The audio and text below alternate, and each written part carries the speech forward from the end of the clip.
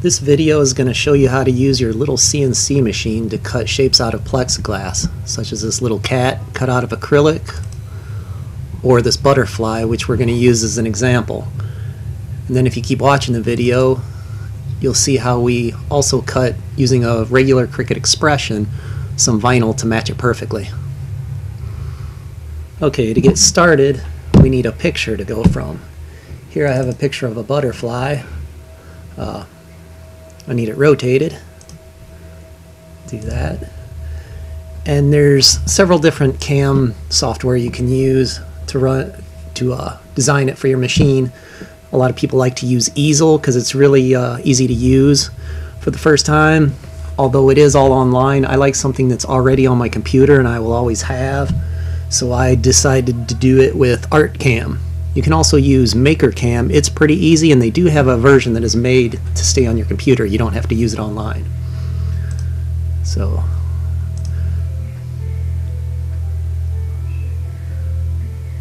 to get started, it's easiest just to have a black and white JPEG image. I'm sure some other formats work.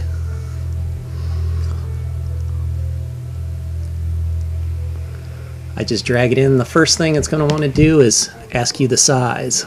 Uh, most of us here in the USA use inches.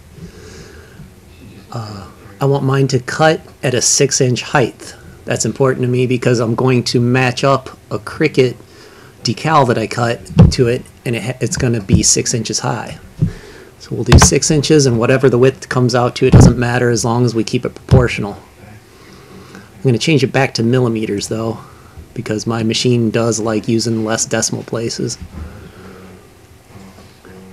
and this is for where you want your head to uh, your CNC cutting head to start if you choose the upper left corner that means it's going to cut the image to the right and below it or you could start in the center and you can measure out all different directions if you wanted to cut in the center of the piece. For the piece I'm using I'm going to start with the head cutting in the upper left corner because I have a nice square piece of plexiglass. Okay, now the next step is we want to change this to black and white. It looks black and white, but you can see along the bottom here there's several shades of black or gray. So we'll go up here to uh, bitmap to vector. We will reduce the colors all the way down to two, just black and white. And we and then we will create vectors based on that. And you'll see this uh, pink or purple line, that's where it's going to cut. Sometimes it'll detect the outer edge, the box of your picture too. You don't want that. You can just click out here and then just click on the one vector that we want, which is the butterfly. So now that we've selected that, we want to tell the machine to cut it. So we're going to go up to Toolpath. And we're going to do 2D because we're just cutting it out. We're not carving. In a profile, means it's going to go along the edge as compared to area where it would cut out the whole inside. In this case, we want it to cut around the outside of it. And we'll go down here. Our start, depth, our start depth is going to be zero. We're going to put the tip of our bit in the CNC machine right up against the plexiglass. And from there, we want it to cut down uh, well, it depends on the thickness of your plexiglass. Mine is a little over two millimeters, but on the safe side, I'm going to put a full two and a half millimeters, so it goes all the way through. Because even just if it lifts off, or if, you know, there's any indiscrepancies, it won't cut all the way through. We want it all the way through. Now we got to select our bit. There's already a bunch in here selected. You can create your own by hitting Add Tool, which is what I did and I made this acrylic 2 millimeter bit which I actually have an acrylic 2 millimeter bit but you'll have to edit your own how much step over which won't be needed for this because we're just cutting around we're not carving out. Step down is how deep it will go in one pass. I want it to cut all the way through the plexiglass in one pass so I selected 3 millimeters. My spindle speed on my 3018 CNC is 10,000 RPM, which yours probably should be too. For the feed rate, I'm actually going to bump this up because although I have a small bit, I don't want to go too fast and break it. with the acrylic, if you don't go fast enough, it's going to melt it and you're going to have all these little things hanging off. So let's bump this up. I'm going to bump it up to 8 millimeters per second and try that. The plunge rate is how fast it drops. This is it's going to drill in and then start moving. I just have that at 2 millimeters per side. It doesn't matter as long as it's not too fast. And of course you want the diameter to match. Like I said, mine is a 2 millimeter. Here you will have it match. Of course, the bigger bit you have, the less detail you can get. You can't get into the tight corners. So let's select this 2 millimeter bit. Let's come down here. By default, if you're using ArtCam, it does go to climb. I changed mine to conventional. It's the, the direction that the, the bit is spinning and compared to the, uh, the cutting, and you'll get a, a, it should do a better, cleaner cut doing conventional from what I've read. We're going to want some bridges because uh, when this cuts along the edge, the uh, the butterfly might start to move as the cut is almost all the way done and it can mess up your cut. So we'll place what we call these little bridges. I like to make mine about five millimeters long. And because we're cutting through three millimeters of plastic, actually about two, but I'm going a little extra deep, I'm gonna make mine 1.5 millimeters deep. And 2D bridges are just, it rises up that high, goes over and goes down. A 3D bridge is it kind of does it gradually. So I'm going to use that. You could add them manually or uh, have it add, have the computer add them. Or here I hit edit bridges. And uh, you can just make sure all your settings match what you did over here. And just click where you want them. I'm going to put one there, one here, one here, and one here. So as it goes around, it'll come up, and that should be enough to steady it. You could use more, it's just more to cut through. But I like to place them in a place where it's easy to get a knife and cut them off too. So now that those are done, we'll come down here and we'll calculate our tool path. It's all done. We got the line, we got our bridges. Once we calculate it, we can go up to tool path here, if you want to see, here's a tool path summary. It'll, if you put in your, uh, well, that's rapid feed rate. If you, uh, it'll say your, uh, about how long it's going to take, two minutes, 10 seconds. It, that's just a, kind of gives you an idea. It won't be perfectly accurate. But let's go back up to toolpath. Let's save this toolpath as. Over here, it just has the same last name from last time I did it. Let's call this our uh, butterfly. I'm going to put it, it's at 6 inch. Uh, and I changed the feed rate, so I'm going to put in, for my reference, new feed rate.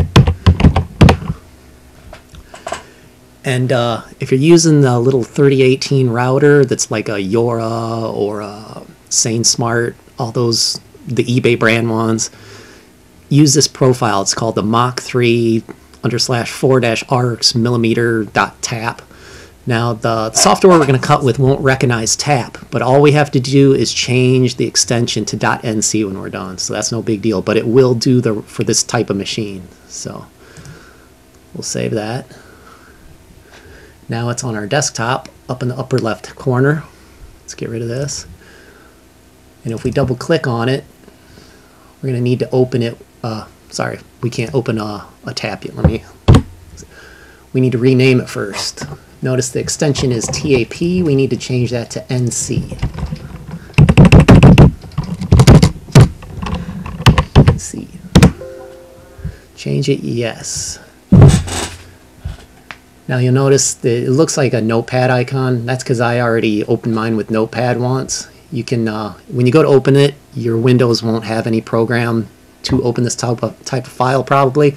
So just choose notepad as the program and then you'll see all your it'll show all this this is your speed and stuff like that if you want to make sure that you did it right because the first few times you could mess it up there is you can go online here to uh, let me find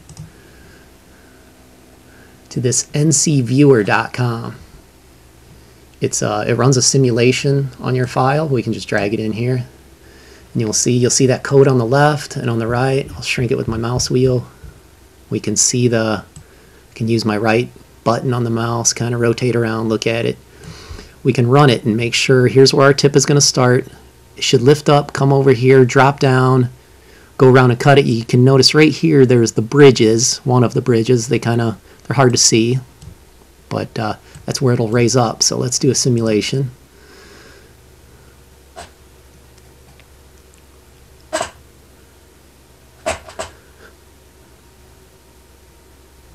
Okay, that's how our machine should cut it.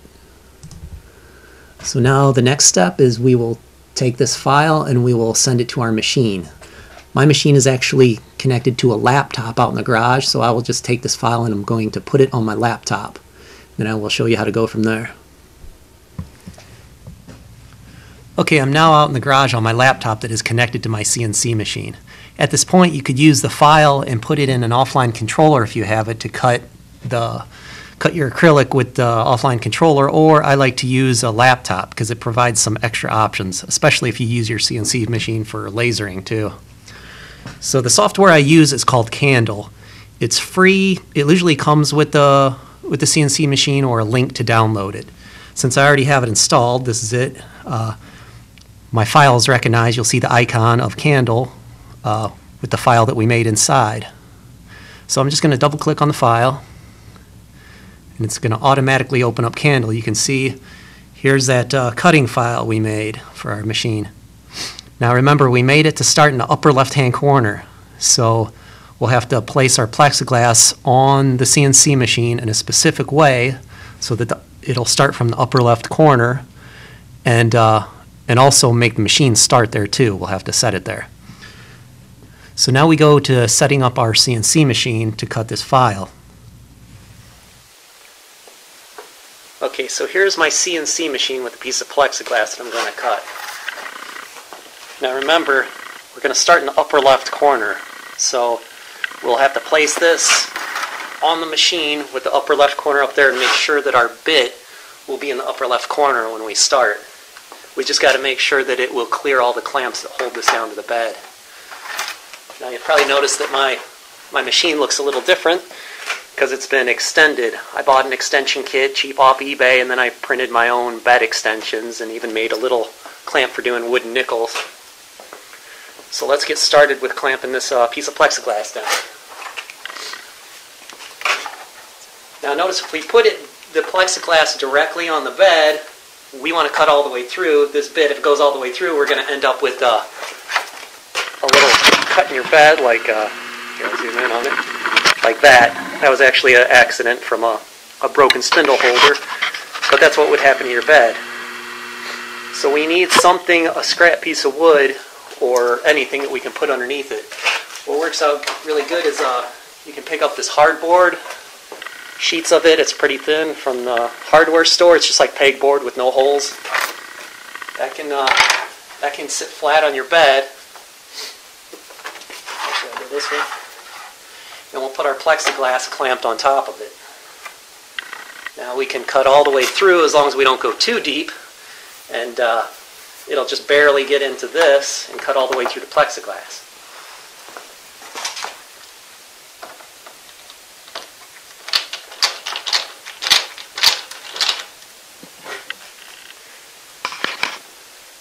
Okay, now my piece of plexiglass is securely clamped down to the bed of my machine. I'm going to have to move my head over to somewhere around here, the, the upper left corner where my design is going to start. We'll have to keep in mind that, uh, and it depends on your design too, that as it comes over that we it, that the head's not going to catch any of these clamps and as it comes down. And if your piece is in crooked too, and your, your clamp might be a little moved over. So let's go over here back to our software. You can see these controls were will uh, I gotta turn my machine on.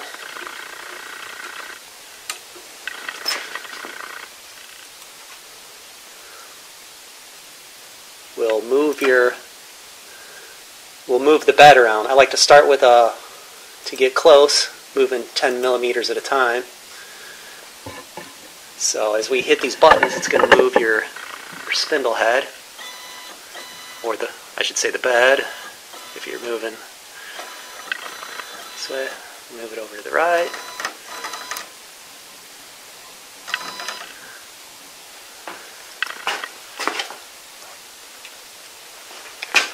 Just to be safe, I'm going to move it in a little bit more.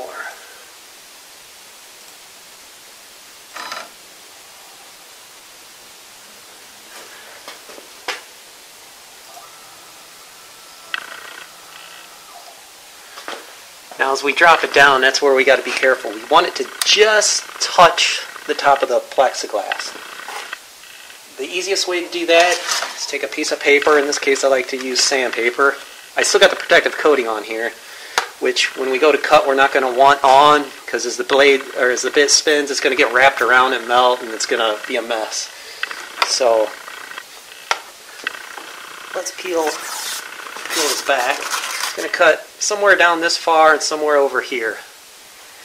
And we should be safe starting there.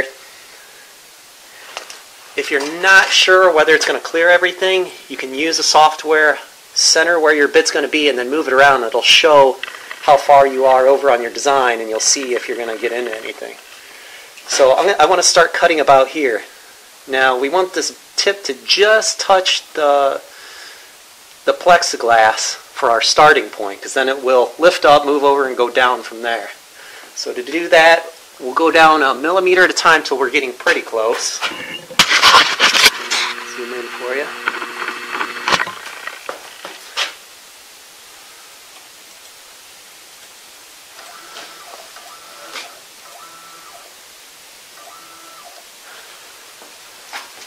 Okay, now it's just about to touch. I can't tell how close it is, so I'm going to take my little piece of paper here, put it underneath.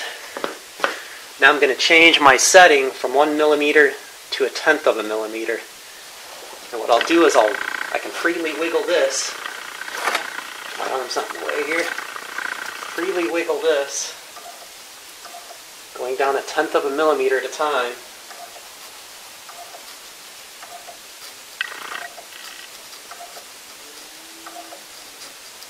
Okay, it's it's caught on it now a little bit. Then go up one just to pull it out. Go back. Okay, now that's where we want our bit to start from. Just touching and plenty of room. So now that we've found out where we want, lined up our bit for a setting point, we need to tell our machine, this is our X and Y, zero them out. This is our up and down. We'll zero that out. So now we're ready to hit the send command, which is right down there, and we will start cutting.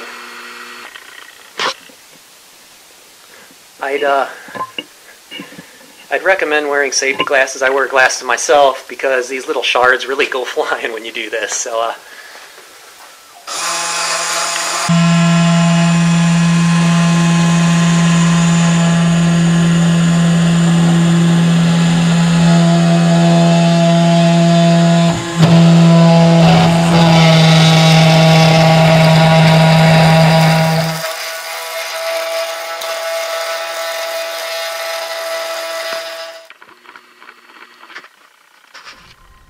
Okay, there it is, a butterfly cut out of acrylic.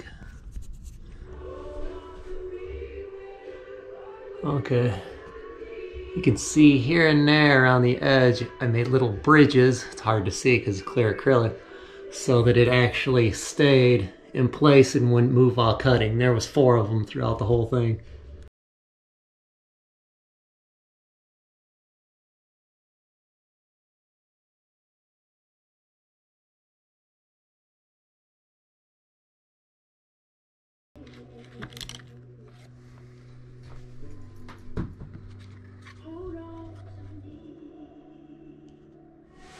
Okay, after cutting off the uh, the bridges and taking off all the protective paper and rinse it off with some water, there's the there's the finished finished butterfly.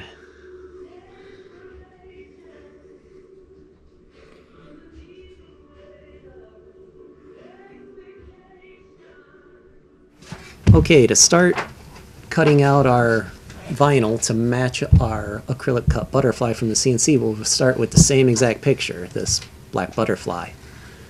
Now we, we will use uh, photo editing software to get the cutout we want. In this case, this is what we came up with. Now to cut that on a Cricut Expression we need, because the Cricut Expression was only made to use cartridges, we need special software. In this case SureCuts-A-Lot 2 will allow our Cricut Expression to cut out any shape we want from our PC. So we open up, this is our SureCuts-A-Lot 2 software. We need to go to File and Trace Image. There's also, you can go up here to that. Here we will hit Browse. We go to our design that we made, open it. We can hit Preview to see how it will cut. This is what it looks like. That's what we want. It traced all the black lines. Now we know before that we cut the butterfly to exactly 6 inches tall, and we need to do the same here. So we come over here to our dimensions, the properties. We need to keep proportions. We don't care what the width is, it just has to match when we make the height 6 inches tall. So we make our height 6, hit enter, and you can see it proportionally made our wing 6 inches tall.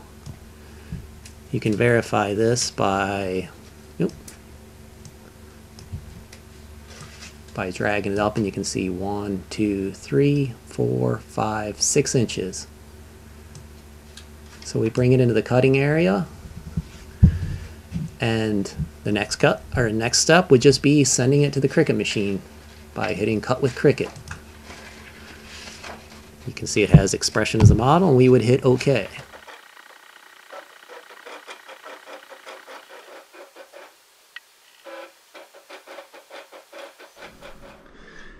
Okay, here's the Cricut cutting the vinyl that's going to go on the wing of the acrylic piece.